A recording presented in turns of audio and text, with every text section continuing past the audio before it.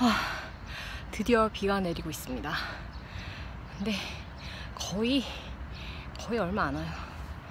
아, 진짜 요 며칠 비는 안 오고 너무 습해서 정말 너무 별로입니다.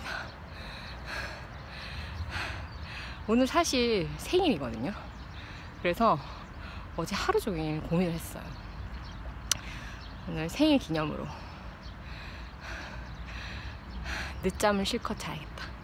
마침 또 밤에 너무 잠이 안 오는 거예요. 이게 좀 패턴이 약간 무너져서 아침에는 이제 좀 사실 눈이 막 떠지거든요. 근데 이제 낮에 한 2시쯤 막 이렇게 되면 너무 막 졸려요. 그래서 일단 글쓰기 좀 하고 우리 둘째가 누워있는 저의 침대 옆으로 자연스럽게 누워서 책을 읽어야지 하면서 책 읽다가 잠들어 버려요. 뭐 그렇게 낮잠을 뭐 얼마나 자는지는 사실 모르겠는데 그래도 한 30분 이상 자는 것 같은데 그렇게 자니까 밤에 잠이 좀 안 오는 거죠. 그러니까 이게 또 반복되는 거예요. 아침에 눈은 뜨지만 또 낮에 잠이 오고. 뭐 어제는 그래서 그럼 또 책을 읽으면 잠이 올까 싶어서 잠을 읽는데 걷는 사람을 읽었어요. 아직 덜 읽어가지고 아 계속 읽게 되더라고요.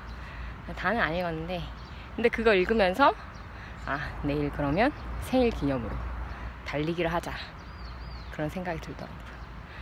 그러니까 그 책참 읽을수록 하정우 라는 배우가 너무 매력적이라는 생각이 들었고 정말 본받을 점이 많은 사람이구나 대단한 사람이구나 그런 생각이 들더라고요.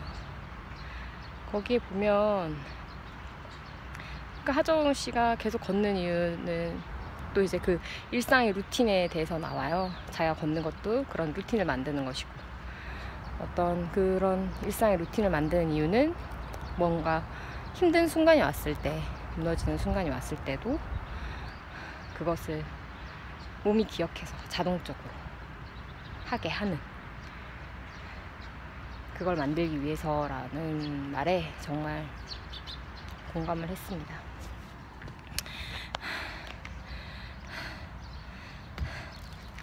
재미있고요. 정말 한번 꼭 읽어보시면 좋을 것 같아요. 그 제 막 톡방에서 보니까 그 거기에 꽂혀가지고 하정 걷는 사람이 꽂혀가지고 어제 보니까 뭐 3시간 되는 거리를 걸어서 가시더라고요. 저도 그거 보고 그 이제 내가 얼 몇 걸음이나 걷나를 측정해 봤는데 그래도 제가 계속 유모차를 끌고 다니고 애들을 데리고 다녀서 그런지 만 번은 걷더라고요. 달리기 하면 이렇게 달리기 하는 날은 훌쩍 넘고 그때 도서관 갔다 왔을 때는 뭐 3만 보 찍더라고요. 아, 다행히 비가 막 죽죽 내리지 않아서 좀 아쉽긴 하지만 또 한편으로는 잘 뛰었습니다. 제가 우위가 없어서 비가 내리면 사실 오늘 그냥 그래도 걸어보자 라는 생각으로 나왔는데 비가 내리지 않아서 한두 방울 그냥 잘 뛰었습니다. 어서 들어가서 씻고 잘 수 있으면 자고 아침 시간을 보내야겠어요. 안녕.